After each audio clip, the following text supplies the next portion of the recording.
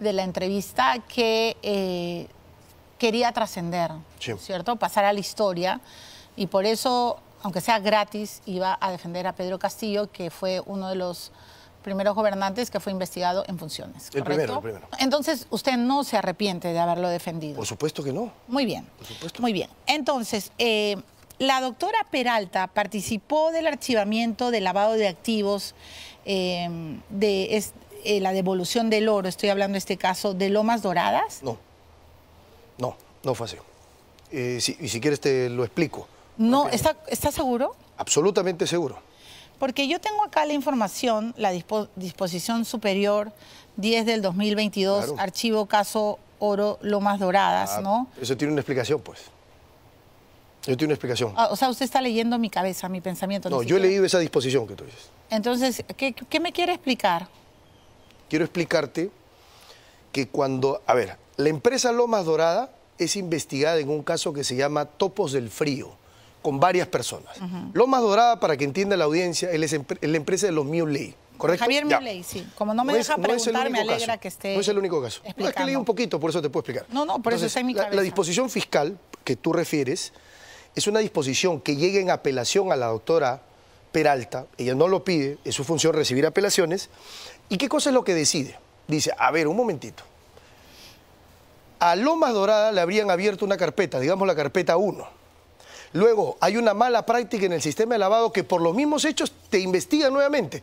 Entonces, había una segunda carpeta por los mismos hechos contra los mismos Muley y contra la misma empresa Lomas Dorada.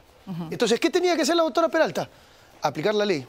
Y la ley dice que nadie puede tener dos investigaciones por los mismos hechos y por el mismo fundamento. O sea, Así que no hay ningún favorecimiento. Este archivo definitivo Es del contra segundo caso. primero las lomas doradas que hace Luz Elizabeth Peralta Santur. Es de la segunda denuncia. O sea, O sea, la primera sigue. El oro sigue incautado y todo. ya. Y, ok, entonces todo esto está, es Justificado. justificado. Bueno, y, ¿y por qué si todo está justificado y por qué si todo está bien, por qué guarda silencio? Ah, porque- ¿Por qué no es elocuente como usted y por qué no grita y no levanta las manos ante el fiscal y le dice, oye tú, ¿qué te pasa? ¿Por qué estás diciendo estos ABCD? ¿Por qué no se defiende? Bueno, porque precisamente, Milagros, por eso tú eres periodista y yo abogado. Porque cuando la fiscalía no te quiere escuchar, no hay que hablar.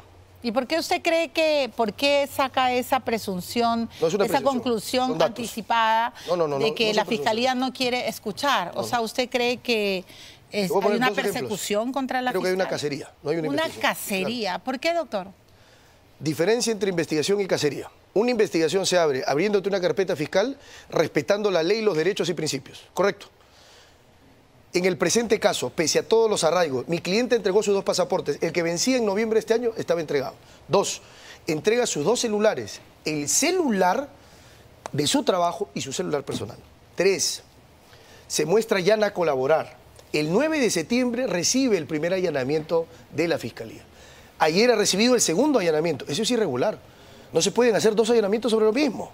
Aunque la mala práctica se extienda, eso es irregular.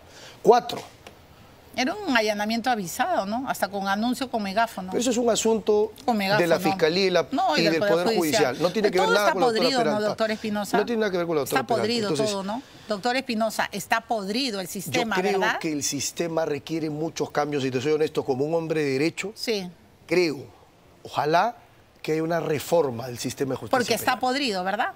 Porque hay cosas que cambiar. Muy bien. ¿Y Muchas usted cosas, cree que los algunos jueces y algunos fiscales con tanta sospecha, cree usted posible que tienen tarifa?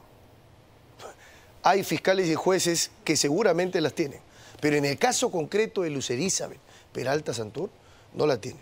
Salvo que me demuestren lo contrario, yo estoy defendiendo a una mujer honorable, trabajadora y que se ha hecho siempre de abajo. Ayer que estaba en su Le casa, digo, doctor, y la que casa ya de tuvo una un persona error en su vida, ¿no? Y en hizo. su trascendencia. No, no, no. Castillo fue un Eso- grave eso es tu- error. tu opinión. No le demostró que fuera honorable, ni intachable, Bueno, ni estamos impoluto. hablando de la doctora No, no, no, Peralta, no, ¿no? es que usted me está diciendo, voy a seguir salvo que me demuestre. Le digo por que lo mismo supuesto, decía con pues. Castillo y mire lo Pero que pasó por con Pedro supuesto, pues, Castillo. mira, y no- y no viste está que- bien, y que cada uno renuncié. tiene derecho Pero por no has visto eso. que renuncié. Entonces, si se pues. demuestra que. Elizabeth Peralta tiene de verdad una papa caliente en sus manos y le ha mentido, usted va a renunciar. Si es desleal cualquier cliente, no solo la doctora Peralta conmigo, Por supuesto, porque se está rompiendo pues la confianza entre y Entonces Castillo fue desleal, me queda claro.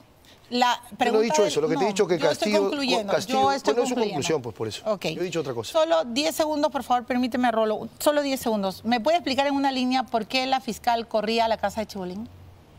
Pero ¿quién dice que corría? Bueno, le ha contado ella a la señora, No, a la periodista contracorriente. Correr es tomarse media hora para no, ir a la 15 casa a minutos, ver dijo. a ¿Por qué iba a la casa de? Chibolín? Porque era su amigo, Milagro. solo no vamos a amigo. criminalizar la amistad. Porque era su amigo. Solo su amigo, por supuesto. Su amigo. Perfecto. No es su socio ni su compincho, su amigo. Su amigo. Y eligió mal, una mala amistad. Ok. Una mala amistad. Muy bien, las declaraciones del abogado defensor. Vamos a ver cómo continúa este caso. Hasta aquí hemos llegado, no hay tiempo para más.